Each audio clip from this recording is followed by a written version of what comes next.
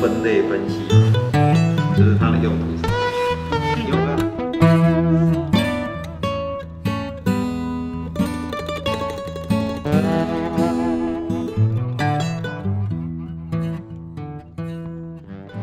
这边应该就是一个方院，因为王宫是属于方院乡，方院乡的一个人文历史跟生态景观的一个小说影，都在里面都有。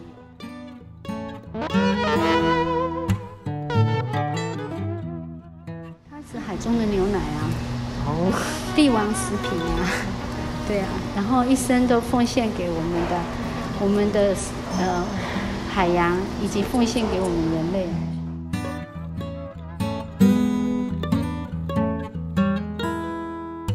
这边啊，对对特色景点，我们有很棒的国家级湿地潮间带，很棒的美食，呃，科爹，以及我们全世界就是首创的用科壳做成的台湾海洋文化，就是。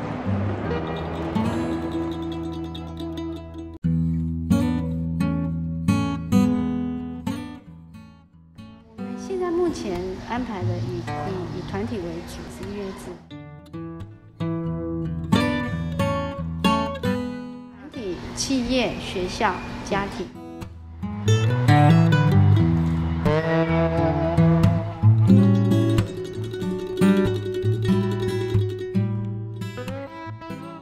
看你们可以停留多少时间，一个小时、半小时、一天、两天，我们都可以安排。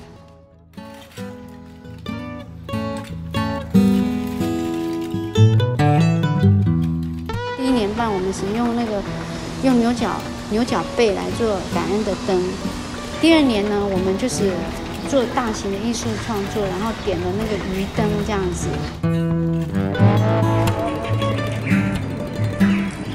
王宫渔火节是我们协会第一把它发起办了第一年跟第二年，那时候真的是那时候真的是水泄不通。啊，可是呢，后来县府接手了。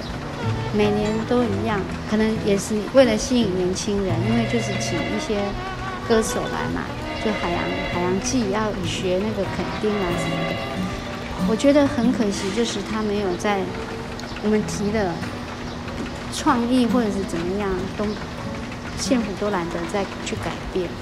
但是一年就是都同样的东西，就是请歌手，花了很多的钱。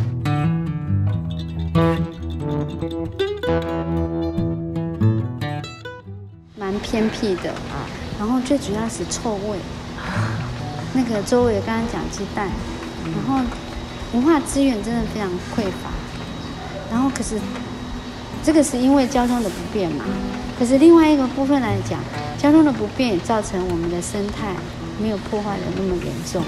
然后住久了，你会觉得说，你你也不要，我觉得我不希望一下子太多人。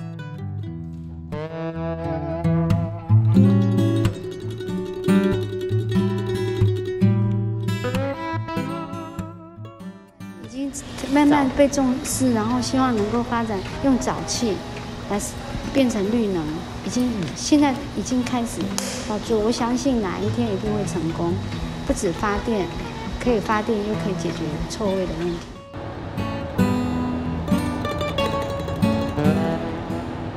有，现在开始一直到差不多十一十月，就是我们这边的旺季。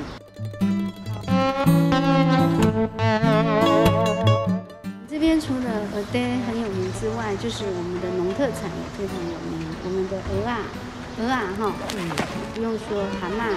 然后我们这边的农作物，我们有人人参山药，还有我们的花生、芦笋。那有没有听过金金芦笋汁？哦有，嘿，那个工厂就设在方院这个地方。